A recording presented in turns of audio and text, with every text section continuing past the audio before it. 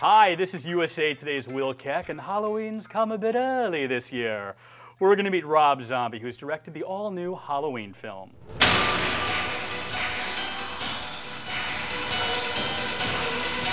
On August 31st, Mr. Rob Zombie is going to show us the beginning of Michael Myers, the genesis of what turned him into the psychopathic killer. Yes. Is there a, something you can relate to in terms of a young boy who was tortured, felt like an outsider, felt different from other kids? Everything in the movie with young Michael Myers, I mean, is drawn from, unfortunately, from different experiences that I've had. I'm sure a lot of people have had. And that's why the scenes with young Michael being tortured by other kids in school, and it may seem harsh, the things they're saying, but the, that's what it's like. What's the, you know. the most horrifying thing you've ever seen in your life? Uh, I've seen a bunch of stuff that was pretty good.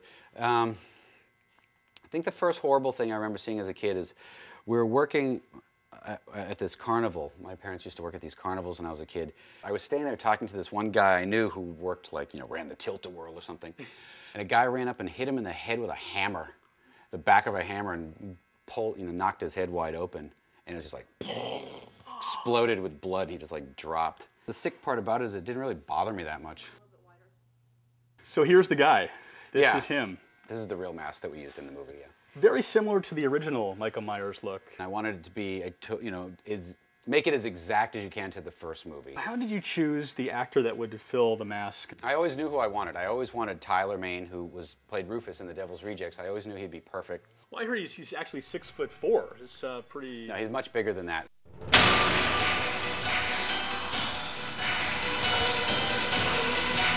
Six foot eight.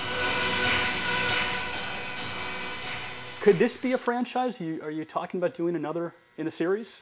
I'm not talking about it. I mean, I wanted to do the one film with a beginning, a middle, and an end, and then be done with it. What about you? Would you do another one? Uh, I have signed on for another one because I was under the belief that Rob was doing another one. Oh. so we're gonna have, Well, how do you feel about that? I just learned that as well. How do you feel about Rob maybe not, uh, definitely not doing a second one?